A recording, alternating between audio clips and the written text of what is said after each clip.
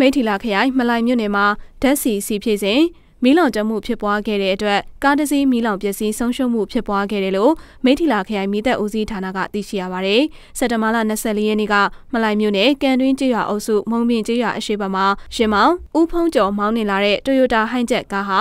ဦးကျော်ဦးရဲ့ဘက်ထရီပန့်ဆိုင်မှာရပ်တန့်ထားစဉ်ဟိုင်းချက်ပေါ်မှာတင်ဆောင်ထားတဲ့စီတိုင်ကြီးအတွင်းကို၎င်းဆိုင်ကပလတ်စတစ်ဘုံနဲ့ထည့်ထားတဲ့အောက်တိန်းစီကိုတန်ကရောနဲ့ပြောင်းထည့်ရကနေပို့တိုက်မှုဖြစ်ပွားခဲ့ပြီးမိလောင်ခဲ့တာဖြစ်ပါတယ်။ဒီလိုမိလောင်ရမှာကားတစ်စီးမိလောင်ပျက်စီးဆုံးရှုံးခဲ့တယ်လို့သိရပါတယ်။ဒီမိလောင်မှုနဲ့ပတ်သက်ပြီးမလိုင်မြို့နယ်မိသက်ဦးစီးဌာနကဒူးစည်းမှုဦးစီရအောင်ကအခုလိုပဲပြောပါရယ်။